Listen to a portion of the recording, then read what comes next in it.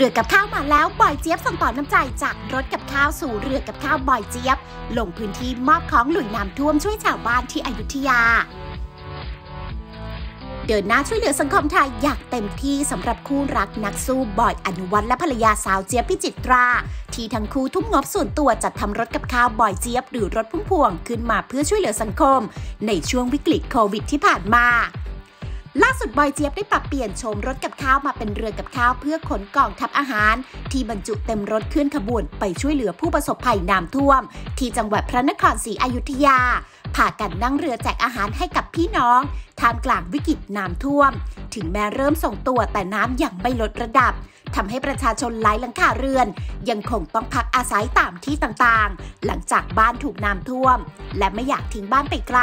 ก็ยังต้องเฝ้าบ้านท่ามกลางน้ำท่วมมาเป็นระยะเวลานาน โดยบอยได้โพสต์ภาพพร้อมข้อความว่า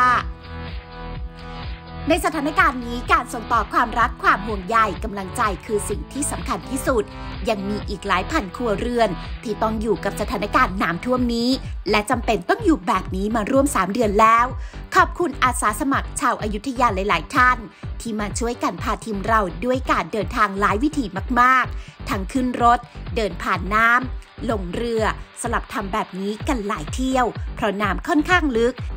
แต่ละรอบนั้น เรานำของลงเรือไปได้ไม่เยอะลำเลียงของได้ค่อนข้างลำบาก แต่ขอบคุณทีมที่สุดที่ทุ่มเทแรงกายจนไปมอบของได้จนหมดรถกับข้าวบอยเจี๊ยบจะพยายามบรรเทาความเดือดร้อนให้ได้มากที่สุด เท่าที่เราจะทำได้ครับ